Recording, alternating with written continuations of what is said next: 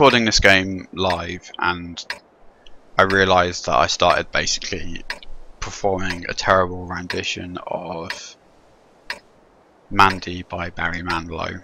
And that's not something that really bears recording and preserving forever or at least for as long as YouTube lasts which you know I'm gonna guess is, is a while.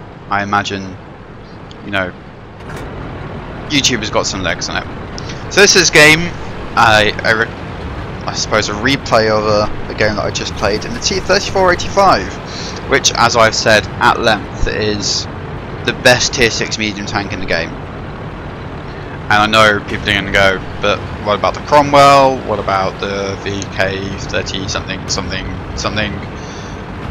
Look at that. I feel sorry for this Panzer 4H. He's just sort of sitting there looking sad and dejected. Poor guy. And it's not like he's even the lowest person in the game. There's what have we got here? We got a Covenanter, which I feel even more sorry for, really. Now in this game, I panicked a little because I was going to go right down the sort of the wiggly road by the, by the river. I thought better of it, turned around and went up for the high ground on the cliffs. This mountain pass is probably not the right place for medium tankers to go, but I'll be honest, going through the middle has always felt a little suicidal unless I'm in something very fast, and going the sort of the the riverside turns into just this complete stally grind fest most of the time.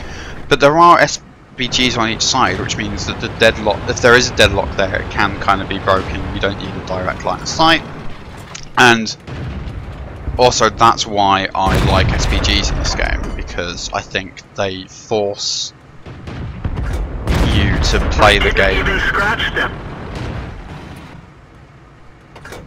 essentially differently. I think a lot of games where tanks feel like they get a bit stalematey. No one wants to be the first to take the damage, and there's a lot of sort of camping. And again, that's fine. It's not a it's not a ridiculously fast-paced game. I having said that, some of the WGL EU games last weekend were very fast and very decisive.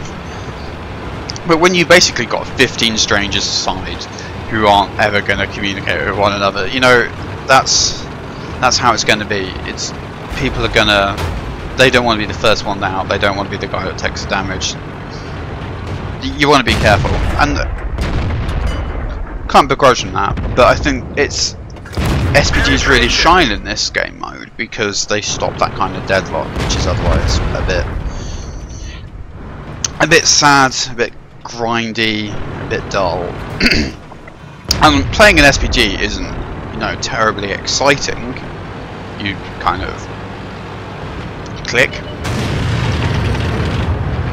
And that's... God, KV-85's always caused me grief.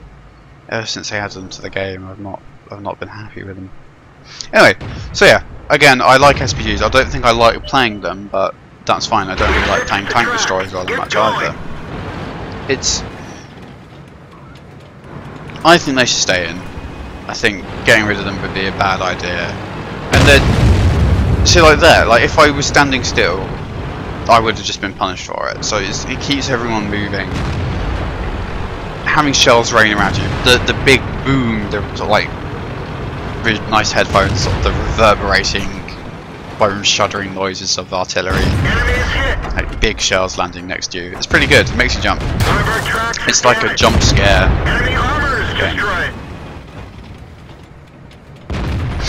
So this is, yeah, a game that actually goes pretty well for the T-3485, and to be honest, it's hard to have a bad game in this tank. I can't stress how much I like it enough.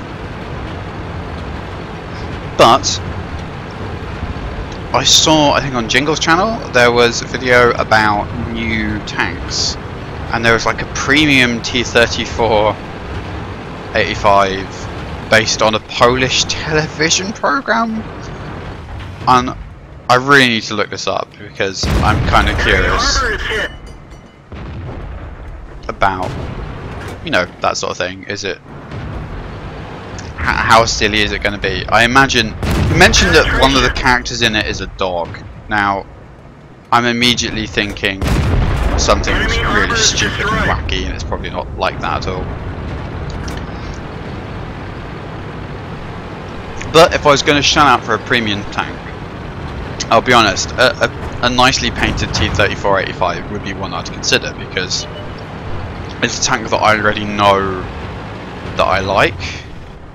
I've got Russian tanks and I'd like to train up Russian crews using it, which is why I've got the church, the Lend-Lease Churchill.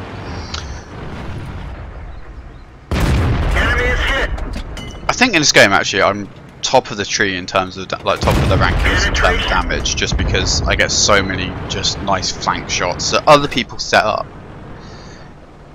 And finally it's my turn to set something up. So I'm just gonna sit I just sit here keep this guy's attention while the KV-1 comes around to the side and finishes him off so there you go fun game with the T-3485 as if there was really any other type um, hopefully this is recorded properly. I've been having some problems with the microphone recently, and we'll see. Fingers crossed.